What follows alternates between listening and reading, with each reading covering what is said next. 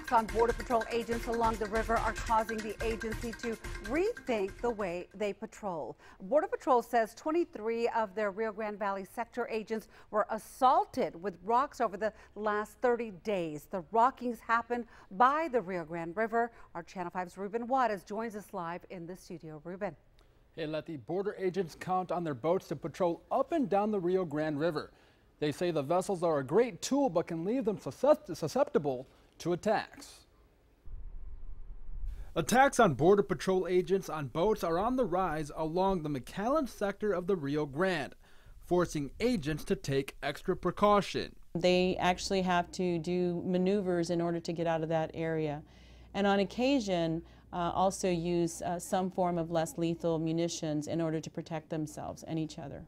Over the past 30 days, 23 agents were attacked with rocks by people on the Mexican side of the river.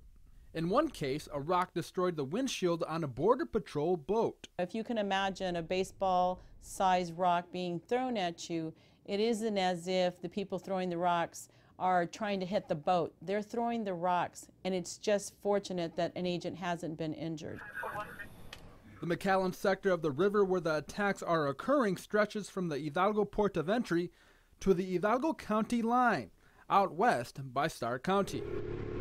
Many of these incidents are occurring south of Abram and north of Peñitas. Lucio adds that the number of people being smuggled in this area has dropped dramatically over the past six weeks. They credit increased enforcement by agents watching this area. Because we're there with such a presence and we're a lot more effective in how we're deploying, they're frustrated. They can't do what it, what it is that is their business. Uh, you know, they want to be able to move people and they can't do it as freely as possible. Lucio says the frequency of attacks over the span of a month have not been recorded to this level in years. Lucio adds that Border Patrol is reaching out to authorities in Mexico to help track down the people who are attacking the agents. So far, there have been no arrests. We will keep you posted on any new developments that may arise.